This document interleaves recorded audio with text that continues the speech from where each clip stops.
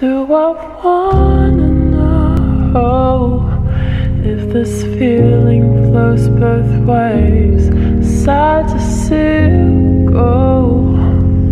We're sort of hoping that you'd stay, baby.